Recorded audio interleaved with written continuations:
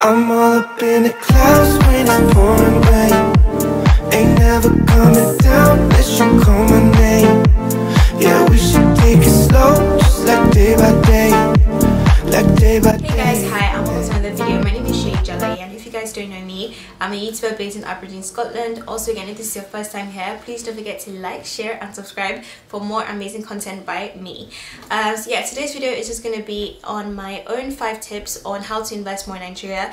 And also guys, as a disclaimer, I am not a financial expert. I know, do not have a financial degree, but it's just like based on interest. But then if you guys are like looking for more financial information regarding like, you know, how to invest in Nigeria, then I actually like recommend that you speak to a professional. So just like putting that there. So yeah, let's go right into the video okay guys so my first tip which i feel is such you know such a popular tool that people actually use in nigeria to invest and that is a mutual fund. And what is a mutual fund? So this is a company that brings together money from many people other than yourself and then invests it into stocks into bonds and also assets as well. And what you need to know is that the combined holdings of those stocks bonds or assets you know that the fund owns is known as a portfolio or the portfolio of that bond or stock that you guys actually select for the mutual fund. And i feel like this is such an important thing to actually use because if you actually want to invest in stocks and you don't have enough money or you know you just have like a little amount of money that you actually have then you can actually just you know go into a mutual fund and then also combine your money with other people to actually get the desired result that you want. But one thing to know is that you know as stocks actually are and they've always been you cannot actually necessarily like 100% predict what you're going to achieve and also really depends on the level of risk as well. So that's actually like one thing to actually be careful about but I still think that mutual funds are still great things to actually get started on today Okay guys, so my second tip is definitely going to be the agri-tech investment. And what is this? This is just for people that actually want to get into agriculture without getting their hands dirty. And how can you do this? You can actually empower farmers, you can actually create more employment opportunities, get people actually out of poverty and still make your returns. And you know, what is the best way to actually going about this? What I'd actually say is that, you know, you actually go into websites. There's so many agri-tech investment websites nowadays in Nigeria. And all you have to do is create an account and, you know, sign up basically. And then also like you know look for you know farmers across nigeria select the produce that you want to invest in and empower someone. And by empowering someone and watching the crops grow and also like you know keeping a tab on things then you can actually like reap the benefits. And most times the yield is actually quite high compared to like other types of investment because the thing is that you're actually empowering a farmer. And you know you're also helping that farmer to actually you know start a new job by actually giving them crops to invest to work on i mean on their fields. And you know they make a lot of money at the end by selling selling them off. And then most times you still make your money back and you know you also still get like some profit which is also a really really good tool to use. So i believe that you know investing in agri-tech investment would be really good.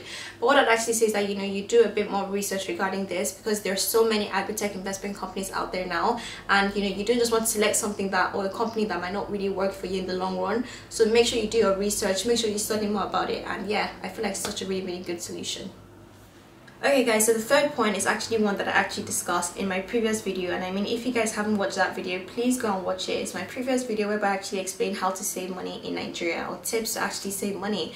So the third point would definitely be a fixed deposit account and I believe it's such a great investment strategy, saving strategy whereby if you have money just lying around, you could just literally put it in a fixed deposit account. You don't need to touch it for like a year and then you get the interest rate that was actually agreed upon at the beginning of the term. So I feel like it's such a great tool to actually use to save more money this year or sorry to actually invest more money and save more money this year. So yeah if you guys are looking for what to invest in or looking for what to actually put your money in then i'd actually advise that you go for a fixed deposit account so my next tip will definitely, definitely be to actually start or open a treasury bill. And what is this? This is definitely a great tool to use. So what this is that, you know, this is actually used by governments to actually help finance national borrowing requirements. And what this means is that, you know, you actually have a certain amount of money because I believe that treasury bills start from a certain amount, which I believe is trade like a bit higher than mutual funds and also fixed deposits. But what this means that you're actually borrowing the government money to actually maybe like finance like a national project, maybe like, you know, fixing roads or building roads or it could literally be anything that is a governmental project. And then you actually be borrowing the government some money and by doing this you'd actually get some interest back but you know i feel like it's such a great thing because you're literally borrowing the government money. So you're, you're definitely sure of getting your money back and also interest as well. Say if you're actually looking for something a bit safe you're like you're too scared to actually invest in stocks you're too scared to actually maybe start a mutual fund or you're, like, you're not ready to actually put your money in for like a certain amount of time um, maybe with a fixed deposits and I feel like you know the um, treasury bills might actually be a great option for you and one that you're actually really sure that you get your money back from. So yeah if you're looking for what to invest in in Nigeria then I'll definitely recommend this as well Okay guys, so my fifth and final point will definitely be to invest in real estate and I believe there's so many ways to actually invest and that could be by you actually buying a property and then you know becoming a landlord and then renting it out to people or you could actually do up the property as well and then fix it up and then sell it out for a profit. But I also feel like you know investing in real estate would always be lucrative because you know the property game and everything about properties will always continue to appreciate. Properties don't decline over time they tend to actually appreciate which is a fantastic thing. But another or one actually great disadvantage of this is that it's very expensive to get into but the rewards are always worth it because people are always looking for housing. So you're always sure that okay I'll always get people to stay in these properties over time because you know people always need houses people always need a place to live. So I feel like you know it's such a great part. It's actually a really really great tool and also a really really great way to actually invest in Nigeria okay guys so i've actually come to the end of this video and if you guys actually like this video please don't forget to give this a like share and subscribe. And also again i hope you guys have actually learned from this and actually have gained some knowledge into how you can actually invest in nigeria.